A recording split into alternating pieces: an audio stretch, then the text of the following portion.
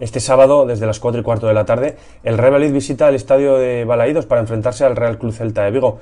El equipo de Sergio González llega no exigido por una victoria, pero sí tremendamente presionado por conseguir el primer gol de la temporada.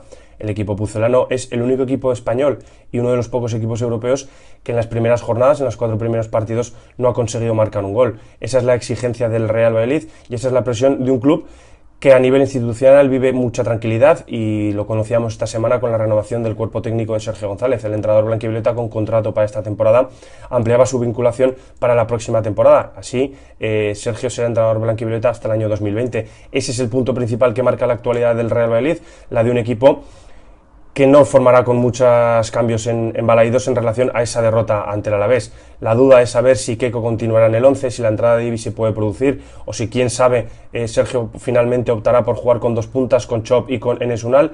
Al final la exigencia del Real se marca en ese primer gol y en saber quién es el autor del primer tanto del Real tras el ascenso a Primera División.